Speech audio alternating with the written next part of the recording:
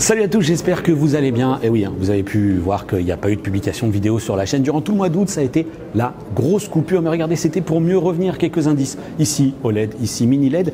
Et puis on est aux couleurs de chez Philips. hein. On voit bien là ici, c'est de l'Ambilight. Oui, c'est de ça dont je vais vous parler. C'était une grosse coupure juste pour mieux revenir. Parce qu'habituellement, au mois de septembre, eh bien, on va à l'IFA, à Berlin. Et là, cette année, eh bien, les constructeurs organisent des petits événements sur Paris.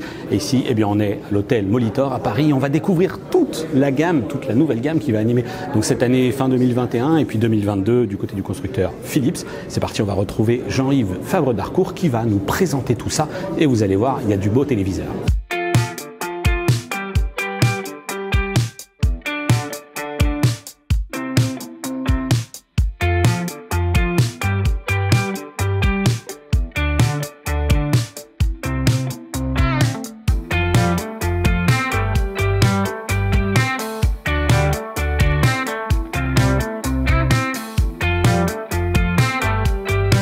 Bonjour Jean-Yves. Bonjour. Ah, Écoute, ravi d'être avec toi. C'est quand même euh, le, le- le point de départ de cette euh, rentrée avec une gamme incroyable. Alors on va, on va y aller crescendo, je vous le dis tout de suite. On va passer par euh, différentes étapes de ce que vous nous avez préparé ici. Et là, on est juste à côté de votre best-seller, duquel on ne peut pas passer à côté. On va avoir de l'OLED, on va avoir du mini LED, je l'ai dit. Mais ça, ça a cartonné. C'est The One. Et celui-ci, est-ce qu'on lui prédit un avenir aussi radieux? Peut-être même encore plus radieux, parce qu'il a repris les, les recettes du succès, donc avec beaucoup, beaucoup de, de tailles d'écran, 43, 50, 58, 65, 70, 75, Ok. on monte très haut, avec des coloris différents. On a ici une version euh, euh, gris métallisé, on a une version plus noire également qui existe sur le marché, avec des déclinaisons de barres de son qui sont adaptées. The One, c'est arrivé 2019. Ça a cartonné pour une raison d'ailleurs assez simple, c'était ça. Voilà. Le pied central pivotant. Pied central pivotant. Alors il a changé un petit peu de, de look.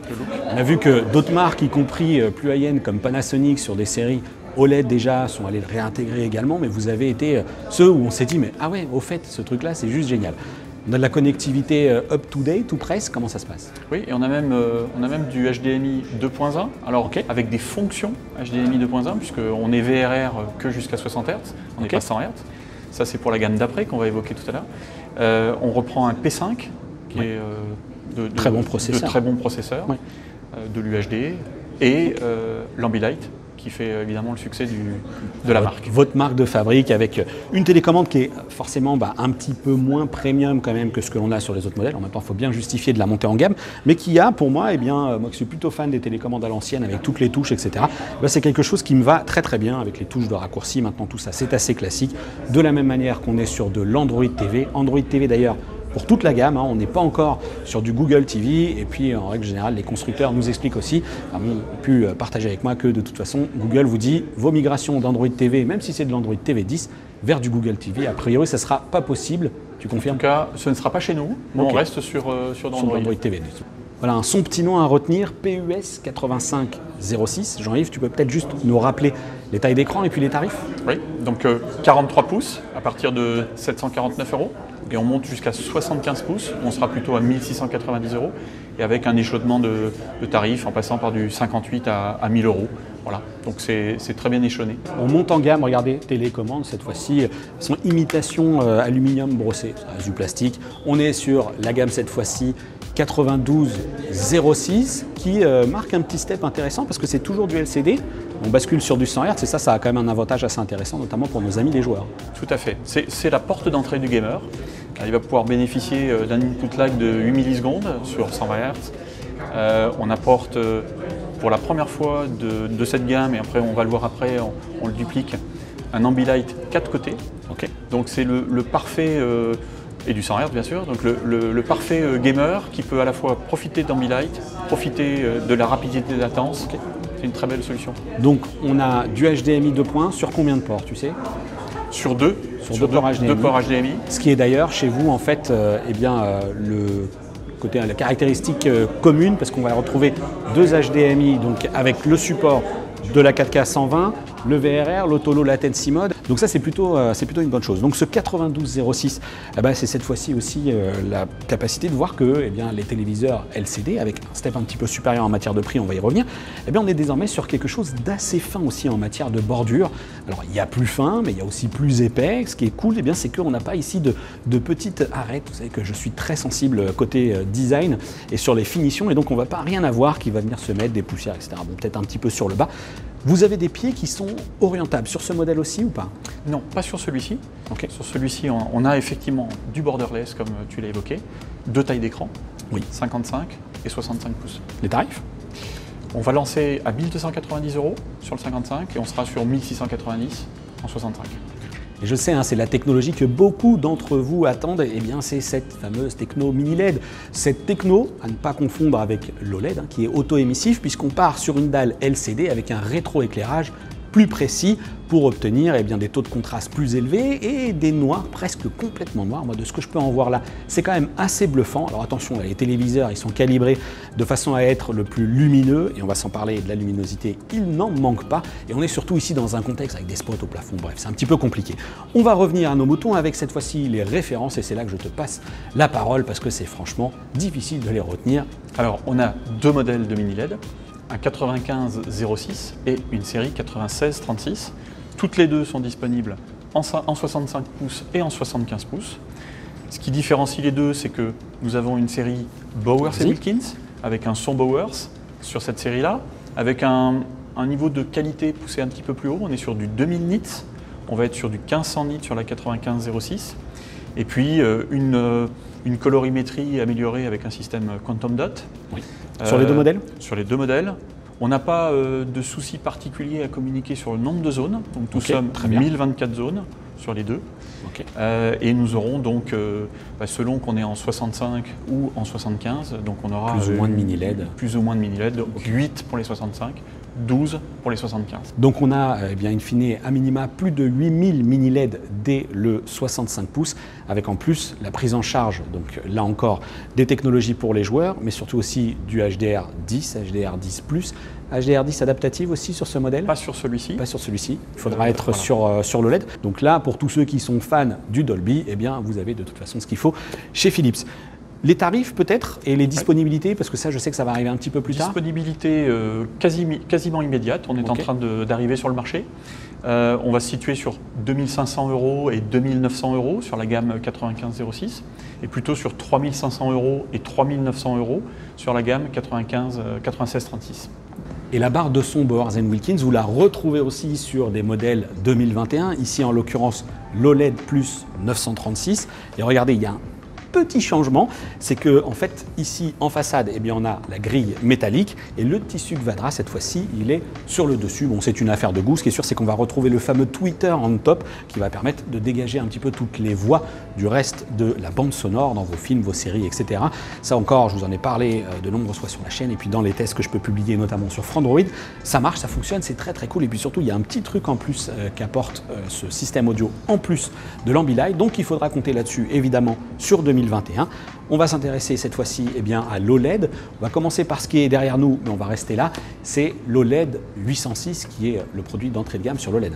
Tout à fait. Donc notre, notre 806 qu'on va décliner en 4 tailles, 48 pouces, 55 pouces, 65 pouces et un très grand 77 pouces. 77 pouces, première fois que vous faites cette taille d'écran. Première fois qu'on fait cette taille d'écran, avec euh, une reprise de ce qu'on fait vraiment de, de plus fort au- aujourd'hui sur la- le traitement de l'image, sur le traitement du son, et on a notamment un détail qui est très important pour nous, c'est l'Ambilight 4 côtés, Ouais. qu'on va reprendre sur les deux séries de LED, et euh, le meilleur des gamers. Ouais. Donc on arrive effectivement avec euh, euh, du VRR euh, multiplateforme, Et le fameux G-Sync qui débarque du coup. le fameux G-Sync, le fameux sur- FreeSync, Ouais. un input lag porté à, à- à 8 millisecondes en 120 Hz. Pour la totalité de ces gammes, 11 millisecondes en 120 Hz Sur les le OLED plus, 936. euh, sur le 936, l'OLED plus 936 uniquement, on est à 11 millisecondes. à 11 millisecondes, exactement. Ok, 11 donc. millisecondes. Et, euh, et une donnée extrêmement importante sur le LED+, c'est que nous arrivons avec le Ah meilleur oui, du son, tu l'as dit, évidemment. La et Wilkins, luminosité. mais une luminosité supérieure de sûr. 20% grâce à, une, à des dalles EVO. Ouais.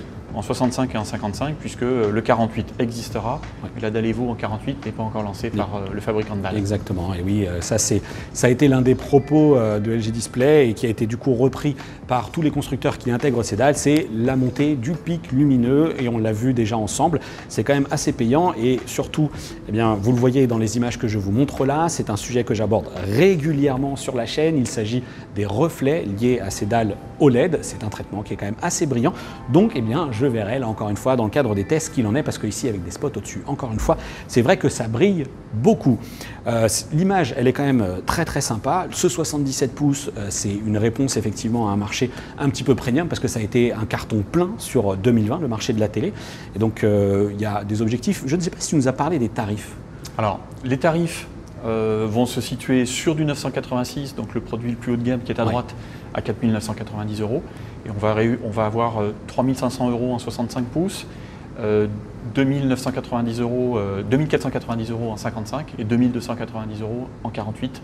Ça sur, sur la gamme OLED Plus. OLED Plus qui reprend, je me permets aussi, euh, toutes les caractéristiques euh, de l'amélioration du P5 cinquième Évidemment, génération. on n'a pas parlé du processeur, mais c'est très important parce que c'est une des caractéristiques de la qualité d'image que l'on obtient avec euh, un capteur de lumière pour euh, pouvoir euh, retraiter la qualité de l'image. Ce n'était pas le cas avant. Capteur de luminosité ambiante, mais on n'est pas sur du Dolby Vision IQ. En revanche, on a notre fameux HDR10, HDR10 adaptative, voilà, qui, qui pour les produits. Ça, c'est important. On a un fast motion aussi, qui permet d'avoir encore un peu plus d'efficacité sur le traitement des images en mouvement. Euh, voilà, il y, a euh, une détection des contenus également, des contenus en cinéma.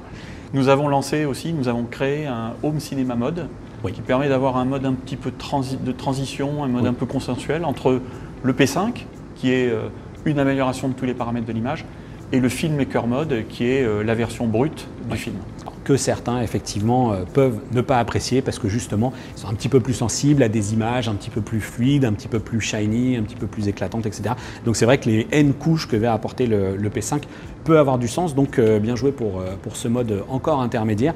De toute façon, vous le voyez là encore dans les images que je, qui illustrent cette vidéo, on a toujours autant de menus de calibration et de configuration chez Philips et moi, eh bien j'ai déjà un petit coup de cœur pour l'OLED plus 986, mais je suis quand même très impatient de tester les téléviseurs mini LED parce que c'est quand même selon moi une technologie qui a de l'avenir et puis surtout là où certains pourraient s'inquiéter du phénomène de burning, là encore Philippe vous avez une réponse, ça fait déjà quelques années mais vous le remettez encore un petit peu sur le tapis parce que vous savez que les consommateurs sont sensibles à, cet effet de marquage. Il y a vraiment un step supérieur, on améliore, on change, qu'est-ce qui se passe? Alors le, P5 5e euh, génération euh, euh, nous permet d'avoir un système anti-burning effectivement qui, est qui, était déjà présent sur le 935 l'année dernière.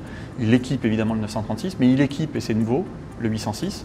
Donc maintenant, la, totalité de la gamme 8 et 9 sont équipés de ce système. Super, bah écoute, je te remercie pour euh, eh cette présentation détaillée. Évidemment, moi je vais y revenir dans l'intégralité sur ces modèles, dans les tests, etc. On va pouvoir s'en reparler tout au long de l'année et même l'année prochaine. Vous voyez qu'il y a quand même de quoi faire. J'espère que cette vidéo vous aura plu. Si c'est le cas, eh n'hésitez pas. On lâche le petit pouce bleu, on réagit dans les commentaires, etc. On s'abonne si ce n'est pas déjà fait. Et puis surtout, n'oubliez pas, il y a toujours le canal Discord où on peut échanger. Oui, je suis revenu de vacances, je vais pouvoir vous répondre. Et évidemment, vous pouvez me suivre sur Instagram, les réseaux sociaux, Twitter, etc. Je vous dis à bientôt pour une prochaine vidéo. D'ici là, portez-vous bien. Ciao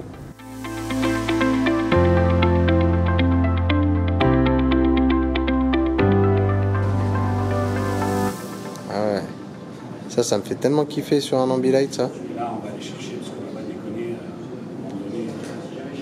Ah oui. Caralho, ça c'est de, ça c'est de l'Ambilight. Ça, on est bien, tu vois. Allez, on va quand même se faire un truc. Ah, quand même. Ouais, ça rend bien aussi, hein. Suivre le drapeau.